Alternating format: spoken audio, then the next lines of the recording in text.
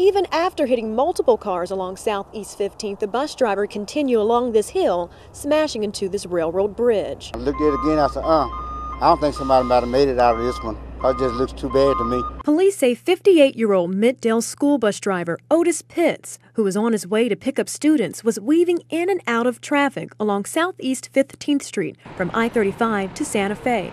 The bus swerved and caused four separate accidents.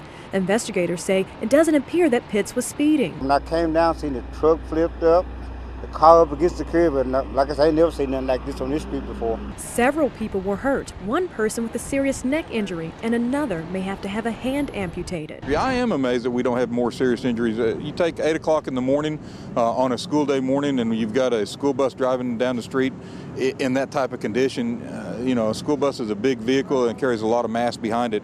If it strikes a smaller vehicle or whatever, then, then you've got serious injuries. Police say Pitts had some type of medical emergency before ultimately slamming into a railroad bridge, where they found him unconscious. They also found drugs on the school bus.